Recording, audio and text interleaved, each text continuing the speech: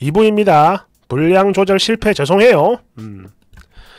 어머님이 100만 원이 어쩌고 저쩌고 하시길래 기가 차서 잠시 멍하니 있다가 제가 그랬습니다. 저는요. 어머님이 해주시는 반찬 먹을 생각이 없어요. 일단 제 입에도 안 맞고요. 아니 그런 거다 떠나서 면만 원이면 훨씬 더 맛있는 걸 먹을 수 있는데 제가 그걸 뭐하러 먹어요? 내가 그걸 왜 먹냐고. 응? 그리고 아니 그게 뭐라고 그게 뭐라고 어머님은 무슨 돈을 100만 원씩 달라고 하시는 거예요? 응? 왜 그러시는 거야? 라는 말 외에 제가 뭔가 더 많은 얘기를 한 것 같긴 한데요. 너무 흥분을 해서 그런가 잘 기억은 안 납니다. 하지만 아무리 그래도 그렇지 저 진짜 욕은 안 했거든요. 그런데 이 할머니는 제가 욕을 했다고 하네요. 그러면서 하는 말이 아이고 여자가 잘못 들어오면 집안이 망한다더만 니는 너그 집에서 그따위로밖에 못 배웠냐? 어디 시어미한테 욕을 해 욕을 이 개 호로시냐? 라, 라는 개 어처구니 없는 소리를 한 후에 저를 죽일 듯 노려보는데요. 헐. 그래요. 제가 당신에게 말 대답을 한 건 맞습니다. 맞는데 아무리 그래도 그렇지 욕이라니요. 아니 생사람을 잡아도 유분수지. 지금 이게 무슨 거지 같은 일이야. 그래서 말이 안 통해. 그래서 그냥 바로 저희 신랑한테 전화를 했고요. 야, 니네 엄마 얼른 모시고 집으로 가. 라고 했습니다. 사실 이땐 진짜로 욕이 나올 뻔했죠. 그러자 신랑이 전화를 끊고 바로 전화를 하는 건지 어머님의 폰이 울렸고 당신은 전화를 받았는데 응? 갑자기 엉엉 우는 거예요. 제 앞에서. 막 울면서 뭐라 뭐라 얘기를 하는데 알아들을 수는 없었습니다. 아, 딱 하나. 전현이 누구 엄마한테 어쩌고 저쩌고 이거 하나 알아들었네요. 그러다 그냥 나갔습니다. 울면서 나갔어요. 아마 저희 신랑이 쫓아낸 것 같습니다. 소리가 들렸거든요. 가! 그리고 지금부터가 최대 핵심인데요. 와, 진짜 이거.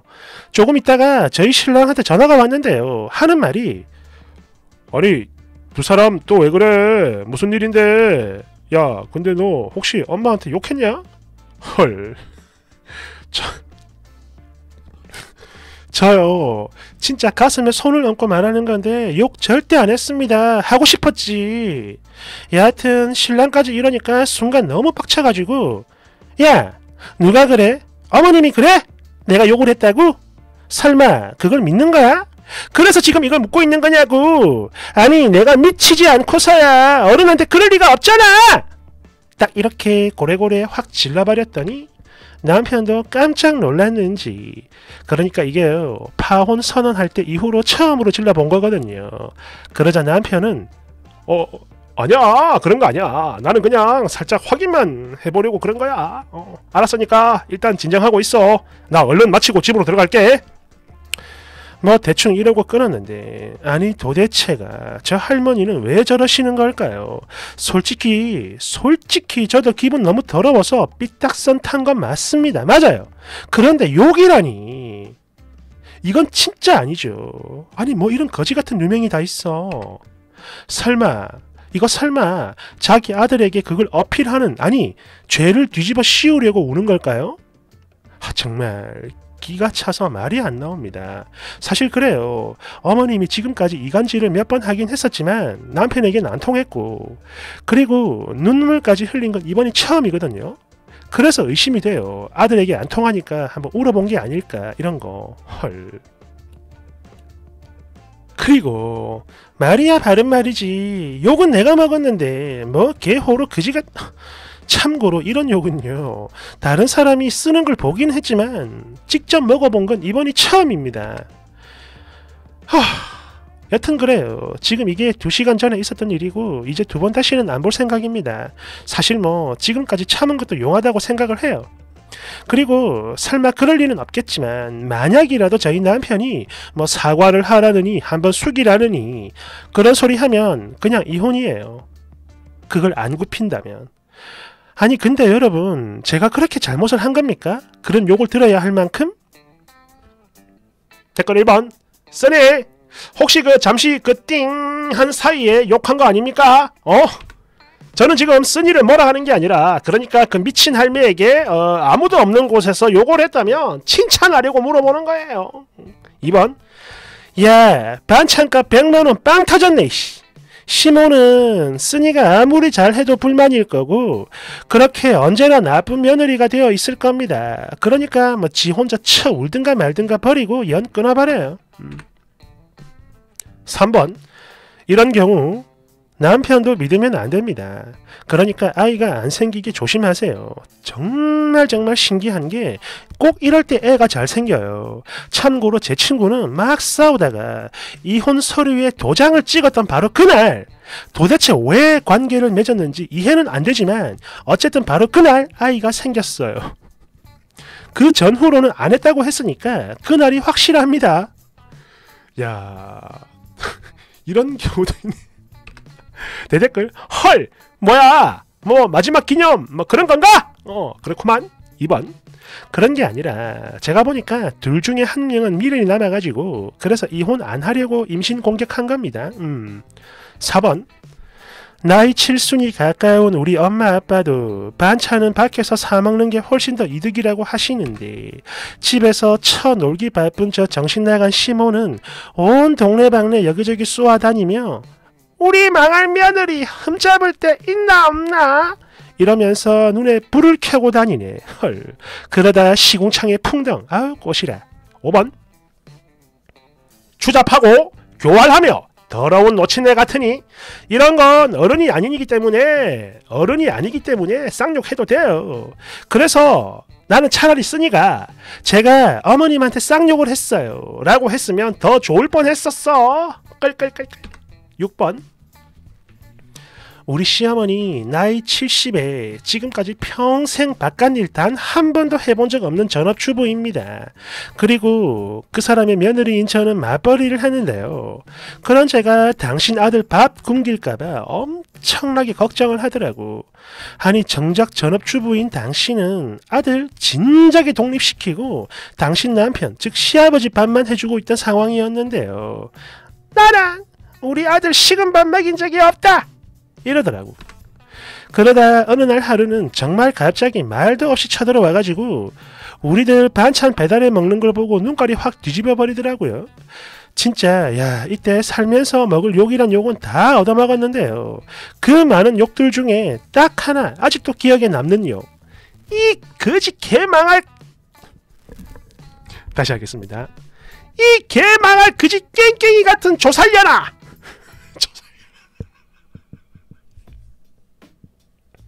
감히 내 새끼한테 이딴 걸참 먹이고 있었냐?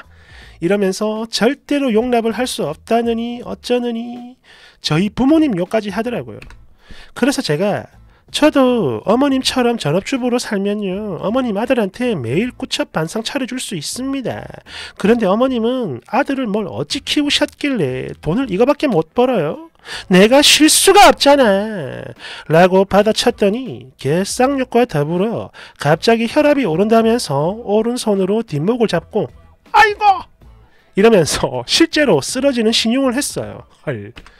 참고로 이 지랄 믿기 힘드시겠지만 정확히 세 번을 더 했고 저도 계속 똑같이 받아쳤죠. 결국 저는 시댁에서 미친년 딱지가 붙으며 당신이 먼저 손절을 선언했습니다. 그리고 안 보고 산 지 4년 됐는데 아우 진짜 너무너무 행복하고 좋아요. 이렇게 좋을 수가 없어. 그런데 정말로 웃기는 건요. 그래도 당신 아들은 아까운 건지 계속 음식을 만들어 퀵으로 보내주긴 하는데 정작 아들인 저희 남편도 맛이 없다면 안 먹고 뭐 남한테 주거나 그것도 아니면 그냥 상해가지고 버려요. 안 먹어. 왜? 이미 17년 전 20살에 독립을 한 남편은 자기 엄마 음식이 입에 안 맞는다고 합니다. 7번 우리 아들 뜨신 밥만 먹였다. 그 쿠션 화장품 시어머니가 직접 산 게 아니라 아마 주변에서 선물 들어온 거 그걸 쓰니에게 준 것 같아요.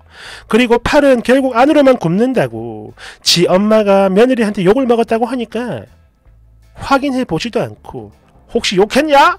이러면서 물어보는 꼬라지 봐. 아, 평소 행실을 봤으면 지도 뻔히 답을 알 텐데 이혼보다 파혼이 쉽다고 그깟 청첩장 그게 뭐라고 에휴 지 팔자 지가 꼰 거죠 이건 참 안타깝다 8번 진짜 어른들 말고 무식한 노인네들 레파토리죠 누명 씌우는 거. 참고로 저는 결혼 3주 전에 파혼을 했었는데요. 그 남자 엄마랑 아빠가 막 북치고 장구치고 욕하고 난리 부르스를 추더라고. 그래서 처음엔 가만히 듣고 있던 제가 저는요. 당신들에게 그런 말 들을 이유가 없어요. 딱 이렇게 한마디 하고 끊었는데 지들 생각에도 그 꼬라지가 많이 우스웠나 봐. 제가 지들한테 욕을 했다며 누명을 씌운 겁니다. 둘이 말을 맞춰가지고 말이죠. 부부가. 다행히 제가 평소 어른들을 좀 어렵게 대하는 편이고 그걸 누구보다 잘 알았던 전 남친은 저를 믿었지만 그냥 끝냈어요. 평생 고통당할 것 같더라고. 그래서 뭐 청첩장 뭐 뿌린 거랑 가전 가구 예약한 거 이거 다들 니들 책임이니까 위약금도 니들이 알아서 해라 이렇게 말한 뒤에 저는 예물만 챙기고 끝냈어요. 아직도 그래. 만약 길 가다 마주친다. 그럼 물을 확 한 바가지 후려 갈기고 싶을 정도로 아, 걔 무식하고 천박한 노인네들 같으니라고. 테이.